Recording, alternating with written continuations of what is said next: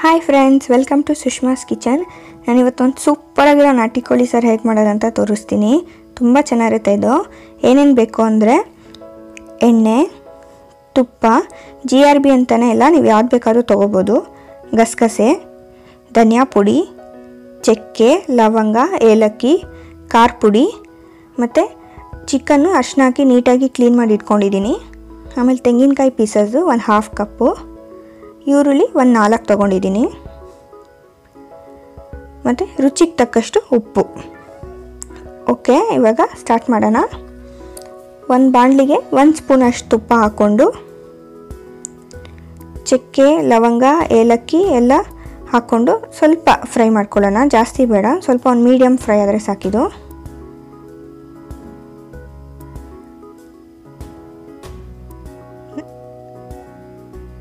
ನೋಡಿ, ಇವಾಗ ಇದಾಗಿದೆ. ಇದನ್ನು ಒಂದು ಬೌಲ್ಗೆ ಹಾಕ್ಕೊಳ್ಳೋಣ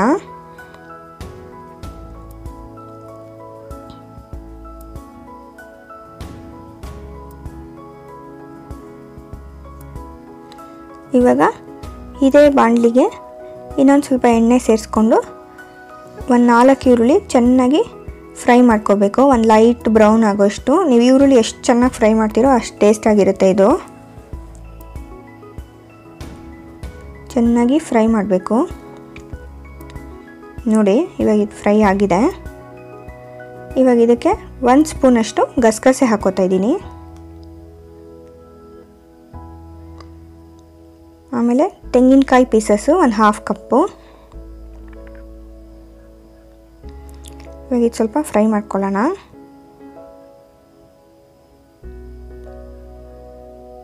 ಮತ್ತು ಇದಕ್ಕೆ ಆವಾಗಲೇ ನಾವೇನು ಫ್ರೈ ಮಾಡ್ಕೊಂಡಿದ್ದೋ ಅದನ್ನು ಸೇರಿಸ್ಕೊಳ್ಳೋಣ. ಚಕ್ಕೆ, ಲವಂಗ ಮತ್ತು ಏಲಕ್ಕಿ ಇವಾಗ ಇದಕ್ಕೆ ಒಂದು ಐದು ಸ್ಪೂನಷ್ಟು ಧನಿಯಾ ಪುಡಿ ಹಾಕ್ಕೊಳ್ಳೋಣ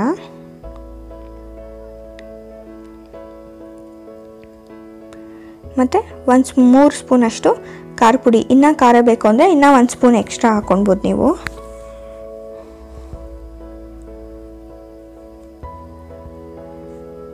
ಇವಾಗ ಸ್ವಲ್ಪ ಫ್ರೈ ಮಾಡಿಕೊಂಡು ಇದನ್ನು ಗ್ಯಾಸ್ ಆಫ್ ಮಾಡಿಬಿಟ್ಟು ಒಂದು ಸ್ವಲ್ಪ ತಣ್ಣಕ್ಕಾದಮೇಲೆ ಇದನ್ನು ಮಿಕ್ಸಿ ಜಾರ್ಗೆ ಹಾಕೊಳ್ಳೋಣ. ಇವಾಗ ನಾನು ಇದನ್ನು ಮಿಕ್ಸಿ ಜಾರ್ಗೆ ಹಾಕೋತೀನಿ.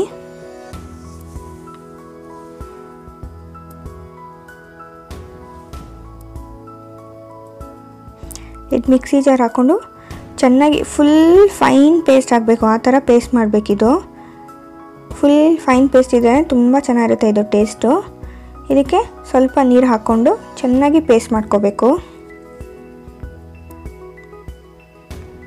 ನೋಡಿ, ಆಗಿದೆ. ನೋಡಿ, ಚೆನ್ನಾಗಿ ಪೇಸ್ಟ್ ಆಗಿದೆ ಇದು. ಇವಾಗ ಒಂದು ಕುಕ್ಕರ್ಗೆ ಒಂದು ಸ್ಪೂನಷ್ಟು ತುಪ್ಪ ಹಾಕ್ಕೊಳ್ಳೋಣ. ಮತ್ತು ಒಂದು ಸ್ವಲ್ಪ ಎಣ್ಣೆ ಹಾಕ್ಕೊಳ್ಳೋಣ.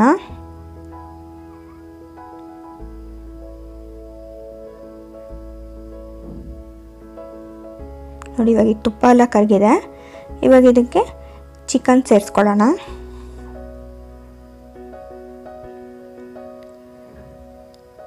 ಮುದ್ದೆ ಜೊತೆ, ಅನ್ನ ಜೊತೆ, ಬಿಸಿ ಬಿಸಿ ಇಡ್ಲಿ ಜೊತೆ ತುಂಬ ಚೆನ್ನಾಗಿರುತ್ತೆ ಇದು ಟೇಸ್ಟು ನೋಡಿ, ಇವಾಗ ಚಿಕನ್ ಹಾಕ್ಕೊಂಡಿದ್ದೀನಿ ಇದು ಸ್ವಲ್ಪ ಫ್ರೈ ಮಾಡ್ಕೊಳ್ಳೋಣ. ಒಂದು ಸ್ವಲ್ಪ ಚಿಕನ್ ನೀರು ಬಿಡೋಷ್ಟು ಫ್ರೈ ಮಾಡ್ಕೊಳ್ಳೋಣ. ನೋಡಿ, ನೀರು ಬಿಟ್ಟಿದೆ ಸೈಡಲ್ಲೆಲ್ಲ ಇವಾಗ ಇದಕ್ಕೆ ರುಚಿಗೆ ತಕ್ಕಷ್ಟು ಉಪ್ಪು ಹಾಕ್ಕೊಂಡು ತಿರ್ಗಾ ಒಂದು ಎರಡು ನಿಮಿಷ ಫ್ರೈ ಮಾಡ್ಕೊಳ್ಳೋಣ.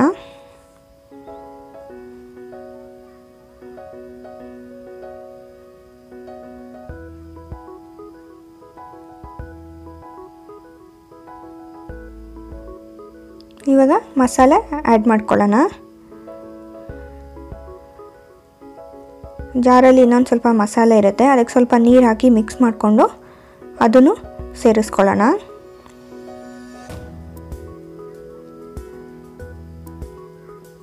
ಇವಾಗ ಸ್ವಲ್ಪ ಈ ಮಸಾಲೆ ಎಲ್ಲ ನೀಟಾಗಿ ಮಿಕ್ಸ್ ಮಾಡ್ಕೊಳ್ಳೋಣ.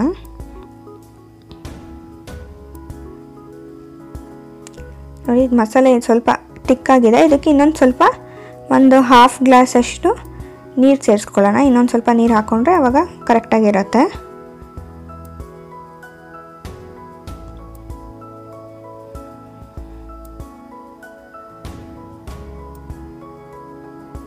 ಇವಾಗ ನೀಟಾಗಿ ಎಲ್ಲ ಮಿಕ್ಸ್ ಮಾಡಿಕೊಂಡು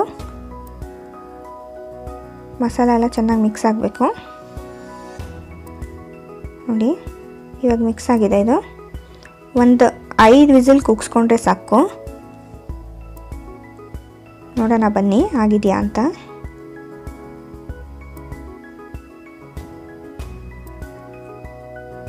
ನೋಡಿ, ಇದಾಗಿದೆ. ಸ್ವಲ್ಪ ಮಿಕ್ಸ್ ಮಾಡ್ಕೊಳ್ಳೋಣ ಇದನ್ನ.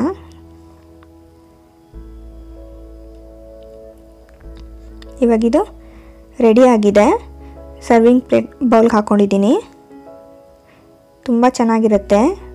ನಿಮಗೆ ವಿಡಿಯೋ ಇಷ್ಟ ಆದರೆ ಲೈಕ್ ಮಾಡಿ ಶೇರ್ ಮಾಡಿ ಸಬ್ಸ್ಕ್ರೈಬ್ ಮಾಡಿ. Thank you